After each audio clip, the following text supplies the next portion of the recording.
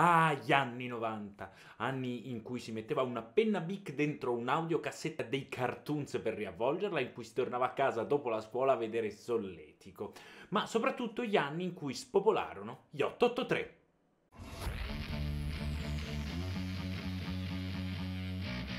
Bentornati su Nerdcore da Capitan Troll e oggi parliamo di un libro che riguarda gli anni 90 ma che riguarda anche gli 883 perché parliamo di Max 90 di Max Pezzali. Visto che figo, no? Con il lancio, eccetera.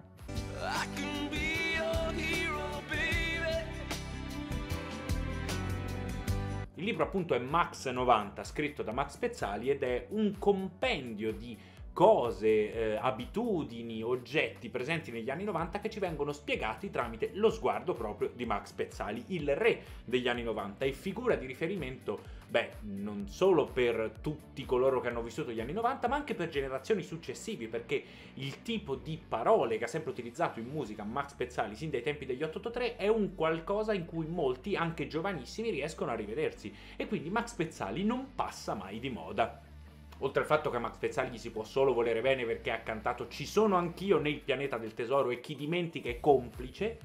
non so complice di cosa, ma complice. Ma parliamo del libro che secondo me è già interessante per il suo lato grafico, perché ricorda molto i vecchi diari di scuola degli anni 90 e al suo interno si possono trovare grafiche molto accattivanti, eh, come possiamo vedere qui, non so se si vede, comunque grafiche accattivanti e illustrazioni fatte da niente poco di meno che Roberto Recchioni e non voglio mostrarvi troppo eh, dell'interno del libro perché voglio che voi ve lo gustiate in caso decideste di comprarlo se non l'aveste ancora fatto non è un qualcosa di autobiografico, non è la storia e la carriera musicale di Max Pezzali, ma è semplicemente Pezzali che racconta dei piccoli pezzi degli anni 90 attraverso i suoi occhi e lo fa con quello sguardo da fratello un po' più grande che ti batte la mano sulla spalla e ti racconta di come girava il mondo all'epoca. E non c'è spocchia nel fare questo, è semplicemente Max Pezzali che ti racconta dei piccoli frammenti degli anni 90 fondendoli un po' alla sua esperienza personale e questo lo rende vero e unico. Bene, io sono nato nel 1991, quindi ho gli anni che ho.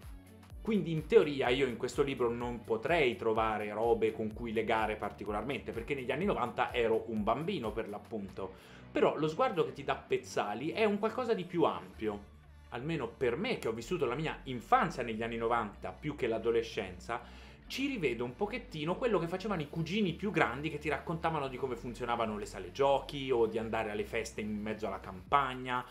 cose che sono descritte tra l'altro da Pezzali in canzoni come Rotta per casa di Dio. E così come le canzoni di Max Pezzali degli 883 sono diventate in qualche modo universali, perché quel tipo di sfiga, di malinconia, ce l'abbiamo tutti indipendentemente dall'anno in cui siamo nati, lo possiamo ritrovare tutto ciò nel libro Max 90 perché Max Pezzali è effettivamente quella figura che si può vedere all'interno del video dei The Jackal sui 30 anni, che non so se avete visto. Max Pezzali fa un cameo in quel video e si presenta quasi come figura mistica che ti guida un po' in quella malinconia stanca che ti può prendere alle volte. E è quello che faceva nelle canzoni con gli 883 ed è quello che fa oggi con le canzoni ed è quello che fa con il libro Max 90, che quindi diventa universale. E ripeto, il tutto confezionato in un prodotto davvero valido da tenere per le mani, anche cioè il tipo di carta su cui è stampato è piacevole al tatto. E non lo dico per fare uno di quei discorsi tipo «Eh signora mia ma l'odore della carta!» All'interno del libro di Pezzali si può trovare veramente, veramente tanto di cui parlare. Ad esempio, leggo semplicemente l'indice, il Deca, New York, l'uomo ragno, Margarita, la maglietta nera versus cellulare, la sala giochi,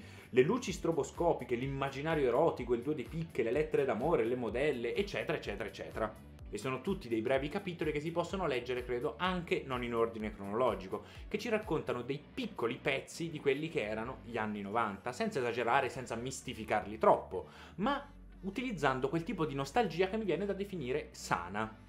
E la nostalgia sana non è quella di Stranger Things che, oh mio dio, guarda qui c'è una citazione pop, wow, rinnova l'abbonamento Netflix,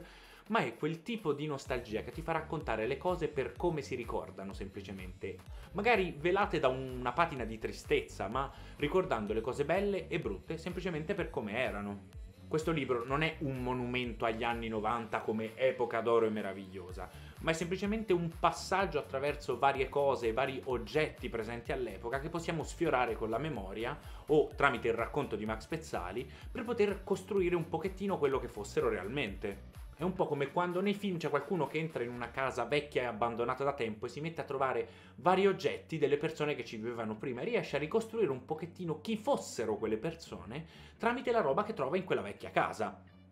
Poi però se siete come me nel film di solito spuntano fuori fantasmi o uomini con motoseghe, però mm, gli anni 90 non erano così. Quindi ragazzi, Max 90 acquisto consigliatissimo e anzi secondo me ce l'avete già sul comodino e ne leggete un capitoletto prima di andare a dormire. E vorrei ricordarvi che tra l'altro su Twitch quel santuomo di Lorenzo Fantoni insieme a Roberto Recchioni, che è quello che ha fatto le illustrazioni del libro, oltre che essere curatore di Dylan Dog e tanta altra roba, hanno intervistato proprio il sommo Max Pezzali e potete trovare quell'intervista integralmente qui sul canale YouTube di Nerdcore se vi interessasse. Quindi a me non resta che salutarvi, io sono Capitan Troll, passo e chiudo e ci vediamo a un prossimo video.